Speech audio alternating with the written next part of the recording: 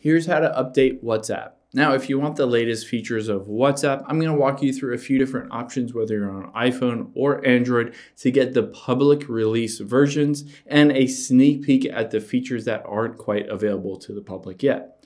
So the first thing that we'll do is we'll open up the App Store or Google Play Store if you're on Android and hit search at the bottom right. And we're just going to search for WhatsApp here uh, WhatsApp and hit update right next to it. If it says update, just tap that update button. You'll get the latest version.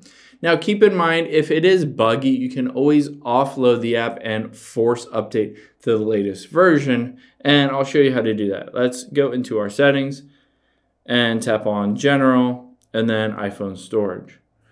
Now I can find WhatsApp on this list here. There it is and just offload this app and reinstall the WhatsApp app. If you're on Android, you can just clear the cache, delete the app, and then reinstall the app on your Android phone.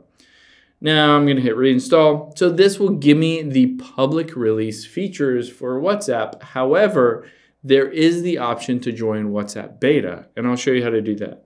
Let's go into Safari or Google Chrome, and I'm just gonna type in WhatsApp beta.